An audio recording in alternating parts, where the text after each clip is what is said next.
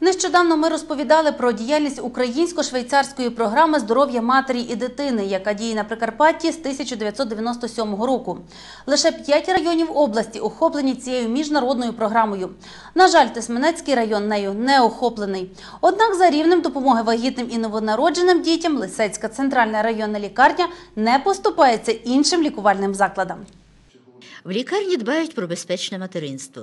Здоров'ю жінки і майбутньої дитини сприяє якісна діагностика. Окрім дорослих жінок, медогляд проходять дівчатка з місцевої школи. І хоча впродовж останніх років народжуваність в регіоні зменшилася, в листі створені всі умови для добрих пологів. За рік у нас народжується близько 400 дітей. Із них 70% або й більше йдуть як партнерські пологи. Тобто із жінкою є присутня близька людина, чи то чоловік, чи то мама. Маємо шість палат сумісного перебування. Тобто всі наші жінки е, перебувають після пологів із діточками разом з палатою, де може перебувати і мама чи там чоловік. Апаратура і устаткування в лікарні придбані за рахунок бюджету. завдяки нашій владі обладнали пологове відділення сучасним обладнанням.